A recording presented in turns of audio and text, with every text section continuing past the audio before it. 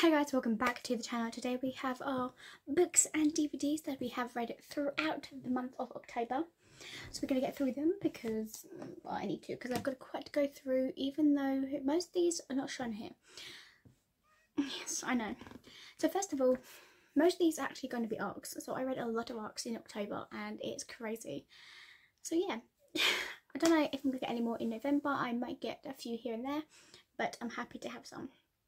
So the first book I is actually an arc. This is Never Made a Sex Demon by Chris Libera. So uh, this is what I read at the beginning of October, obviously after I was still in the middle of reading it from last month. It's amazing if you, basically it's a girl who has sex dreams but then ends up having a demon come in her dream and make her dreams reality when he pops up in real life.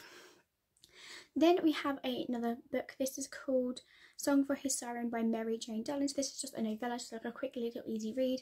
This orc basically um, thought he can find his soulmate, find his soulmate, thought, oh, let's give her a death scroll. She might like that. And then she's like, ew, no, great, that's disgusting.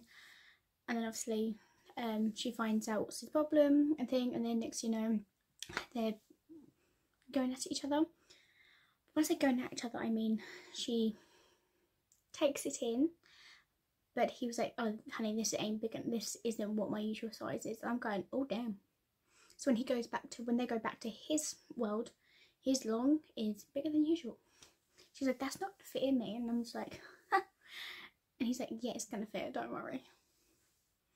Damn. Then obviously again we have the third arc, which is the Black Forest by P.S. Westlock. So this is the second book to the Keeper and there is a third book called The Veil. I haven't read The Veil yet. Um, I might get an arc. I'm not sure yet. Um, I can't actually. Funny enough, I know it's really bad, but I can't remember actually much about the Black Forest. I only read books. Um, I remember books, so say that I can remember, like really popped into my mind. And then anyway, then next we have is Teach Me How to Fly by Layla Brown.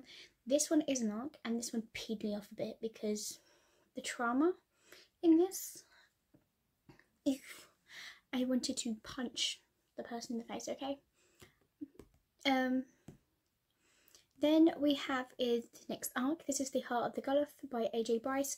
This was actually a pretty good book. I did enjoy it, but I don't know why I can't remember most of it.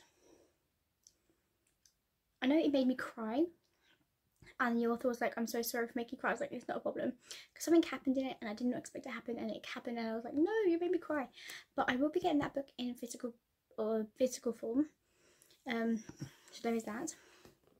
Then obviously the first thing I have is Angel Friends. This is the first DVD we went through. This has 52 episodes and two no, movie. I've moved two movies, I can't remember now. Um, so I watched this. So this is actually you can find this on YouTube. This um series, and I love this because it's about an angel and a devil. Um, basically like between two people, angels between angels and devils. They go against each other and to win if these humans can do bad choices or good choices.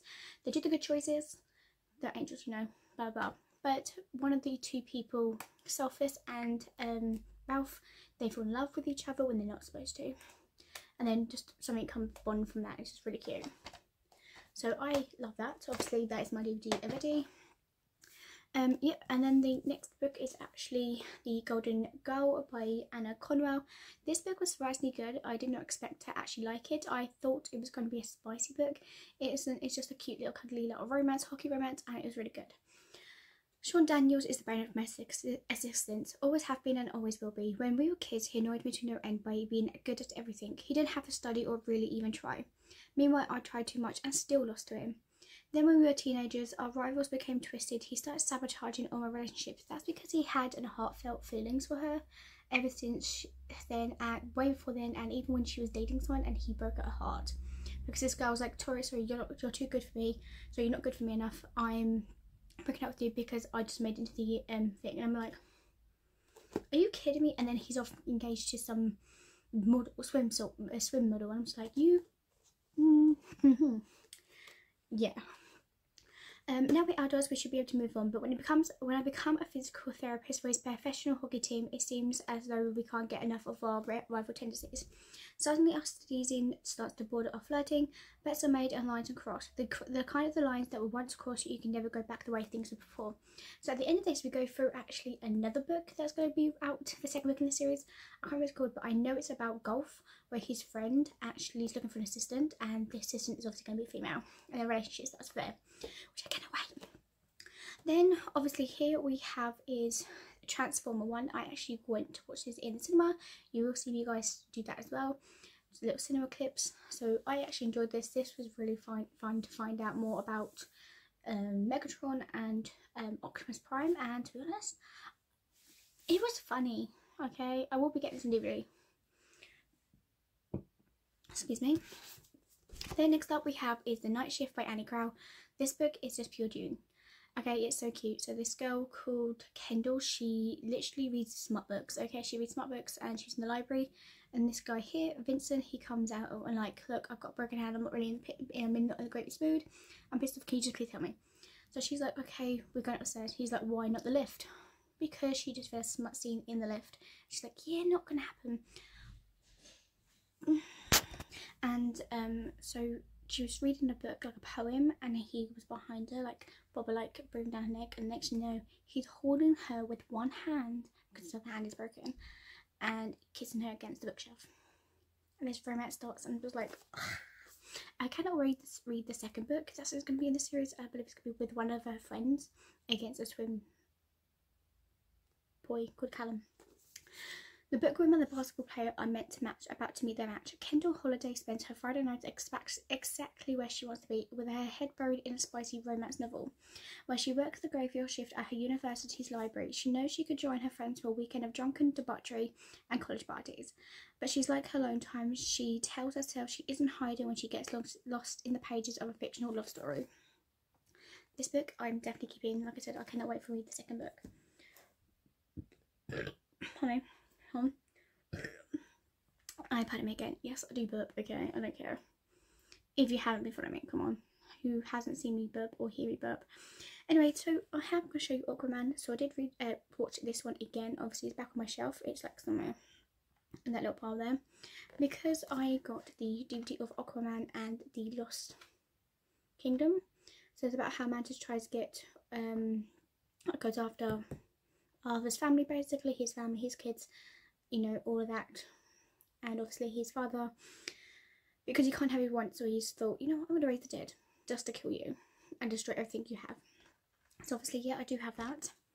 Next up we have another DVD. This is called Avalon High. Oof. Um, Avalon High is about a girl who goes to a school originally and her fam family's like, what's the... She was like, what's the point of making friends? I can't do this, blah, blah, blah. And they're like, um, actually, you know, we're staying here for the end of the semester you're literally staying there. She's like, I can make friends. I can join the club. I, she's like, yes. And then obviously we find out that it's all about Arthur and this and it starts there. So if you haven't watched it, um, Avalon High, go watch it. I was so excited when the per is this is the same person who I bought Angel Friends off. And you now, I'm so excited to have that. Then next up we do have Scorpion by Evian Grave. So I did have the physical book of this but I gave it to someone else instead because this book wasn't really my type of book. It didn't really get, leave a uh, mark on me and I was like really this is kind of uh, boring to me and the spice wasn't exactly there as well. Then next up we actually have is ASAP by XL. So I wanted to read this because it sounded so good and come on who can you not see that the covers are beautiful obviously it was signed up by the author you know. Look how cute. Um so i got this book because I obviously i have the girl who fell beneath the sea by um this author. I was like why didn't i grab her other books? I may not sound like the sound of it but i could read it. I didn't like the sound of this and i read it and I was like oh yeah i'm glad i read it. So i'm trying to find um xoxo in fairy form. So if you guys know where i can get it um because someone has it but it's not Fairyloot because if it says Fairyloot it will have that on it Fairyloot exclusive. And it's just a piece of paper with um, you know when you sticker a sticker on saying um like with a signed signature on it. So I love this book. This was about Sori who worked her whole life to become a cop painter. So Sori sorry Sori Um, she is not capable with her mum, who works in the company, but something happens, and then she ends up falling really falling in love with her ex boyfriend, and so does he, uh, Nathaniel, and they both just start this romance again, and it's just so lovely, and I love it, so cute. I need to get XOXO, and obviously I believe she has a new book coming out next year. Next up we have is the art called Unbreakable by Danny Gal Gal Galli Galliello Galliello Gallo. So this one's about marriages basically, but then you're breaking apart and doing all this stuff. It's like a, this big whole thing that was going on upside down, and obviously how their marriage was going ups and downs, but they were going back from the past where they got together and how their relationship was fine and all that. But at the end, it does turn out really good. Then I have The Lost Darling by Bailey Back I did this have this in physical form. I just didn't enjoy it and I gave it to a friend. Basically, it was supposed to be a Peter Pan retelling, but I just did not enjoy it. It was like a small book like this. Did not enjoy it at all. It was really not the greatest I think I've read before, and I didn't enjoy it. Like I said. Then we have is Spilled Wine by Jessie Dean. This was a really good book. I did enjoy this. This is the second book to Whiskey Glasses, and I will be getting this book in physical form because I do have it right there that's the first book there so this is about um, her sister and Sydney and um, Cal um, this one also made me cry because Cal got in an accident. Oof. okay. Did not expect that but I really did enjoy that. Then next up we have another arc this is called Fly Away Home by Felicity Stevens. So this is about a gay romance which was my first time reading a gay romance to be honest. It was good. I loved it. It's about a cop um, basically trying to deal with someone um, try and find that mystery and they find a mystery but he's like I shouldn't go back to him, I'm going to go back to him. And then this relationship kind of starts between this and a suspect, who doesn't end up being a suspect, by the way, guys. He's really nice. Then next up we have is Grounded Grounded by Marie Tandy. This book I actually enjoyed so much. I cannot wait to get this in physical form. This book is about a guy who is seriously in love with someone but doesn't want to break the friendship between these two. But they go on holiday basically and this relationship starts to start and they're like can't they crave each other and they want each other. I'm just like, oh, I need this. Like it's so good. So yes, I'll be getting this book in physical form.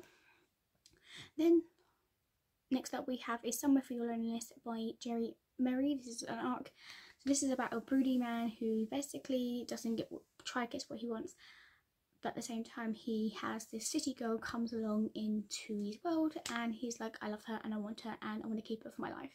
And it's just like this romance thing. But where she had um, a incident in her life that traumatized her and so with him it's a lot of things but they kind of work together. And next you know this romance starts to and it's so cute. And I will be getting that book in physical form as well. And then yes it's still going to shut up next up we have is a, another arc this is called a first come marriage by Sierra Dion this one was oh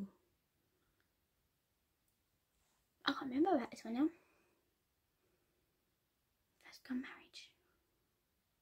Oh, this one didn't leave me, but I know it left me something because I said I want to get in physical form. Oh god. I want to look at my good Goodreads. Hang on. Now remember, so this is basically a guy who, so Baz Sebastian, um, they he was getting married to um Sabrina's sister, but Sabrina called her sister basically screwing her boss from another company, her company, and she was like, "Look, you don't tell him yourself, I'm going to tell him myself." She told what happened. He was like, "No, no, just think you just want to ruin it together." So they left and blah blah.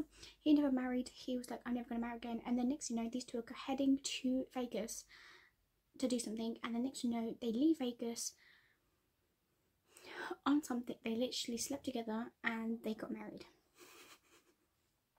and then from then they literally got this romance together and the point where they basically she was like don't want to call you Baz because that's what my Baz well my sister would call you Sebastian is mine and mine only I was just like that's so cute. So yes I'll probably be getting that book in physical form as well. So yeah. Next up we have is Collide by Bao Kabaha uh, Kabar, Kabar. so I got this book in um it works because come on spy this book is, is good it's spicy it's hockey romance and it's everything i need in a book really so summer is a girl who basically has trying to win trying to get into an um, a spot in the commission and she has to do basically a report with Aiden the um, captain of the hockey team at first they were like, no, I hate you, you can go and suck a dick basically. And next know the relationship between these two gets together. He wants her, she wants him, and the tension is real. Then obviously she finds out that the guy that she used to be dating is actually dating a teacher and doing her to get the grades he needs and wants. So there's that but I cannot wait to read more about this and read more by this author and I cannot wait to read the next book. I think it's about ballet. So there's that. Next up we have is The Beastmaster by Volume 1. I'm not going to continue this book because there's only two volumes in the series that is it, nothing else and that stops. Why stop at volume 2? Like this was literally has so good. So it's about a girl who basically meets a guy who acts like a wild animal and then next you know he submits to her basically and everyone calls her the Beastmaster. I wish to continue but I only found that there's only two volumes in the series so I will be passing along to someone else. It goes in my pile there. Then I um, read Christmas Alibi by Dan. So this is an arc. This was... Yeah, I really should be more prepared, shouldn't I? Uh, did it, did do. Uh, this so yeah, this was like a little, just a, a little Christmas spicy read. Not much, but only read like a couple of hours. Just read in one sitting. It was not too bad, and I enjoyed it. But I don't think I'll be getting it in the physical form. We'll see. I haven't decided yet. And then the book, lastly, is Consider Me by Becka Mack. I'm currently reading this. As you can see, I am currently not even halfway through this book, and this book is so funny. The banter in this book is just hilarious. So I definitely will be keeping this book, and I cannot wait to keep this book as well and read the next volume books as well in the series. So yeah, there we go. So that is everything I have for my books and DVDs that I've read for this basically this month. Um, so I'm hoping to take a massive chunk of my books I have on my table. Um, if I don't get any arcs or that many arcs to read, I need to get might take a massive chunk because there's a lot of books I really want to get my hands on to and read. Um, so yeah, that is everything I have. I hope you guys enjoy and I'll see you guys next time for the next book release video when it comes to end of November. Because I have a two weeks off at the end of November till the, first week of November. So I'm going to be hopefully reading as many books as I possibly can. And yeah, same in December though, I have a week off in December as well, so hopefully I can read a lot more. So that is everything I have for this book haul. I hope you guys enjoy and I'll see you guys next time for the next video of the book releases for next month. Peace. Bye.